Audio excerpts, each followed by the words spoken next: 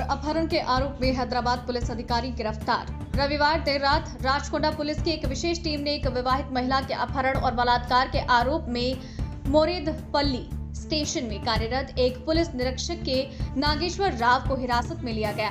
उन्हें पहले जाँच लंबित रहने तक निलंबित किया गया। उन पर भारतीय दंड संहिता आईपीसी की धारा चार सौ बावन, हाउस ट्रेपास, तीन सौ छिहत्तर दो, एक पुलिस अधिकारी द्वारा बलात्कार 307 हत्या का प्रयास 448 घर में अत्याचार के लिए सजा। तीन सौ पैंसठ अपहरण के तहत आरोप है। वनस्थलीपुरम पुलिस स्टेशन में आर्म्स एक्ट की धारा 30 अगर आरोप सिद्ध हो जाते हैं तो उसे उसके नैतिक अधमता के व्यवहार के लिए सेवा से बर्खास्त किया जा सकता है। एक वरिष्ठ पुलिस अधिकारी का कहना है, अगर अनुशासित बल में नैतिक अदमता का कार्य सिद्ध होता है तो सेवा से बर्खास्तगी तत्काल प्रभाव से की जा सकती है।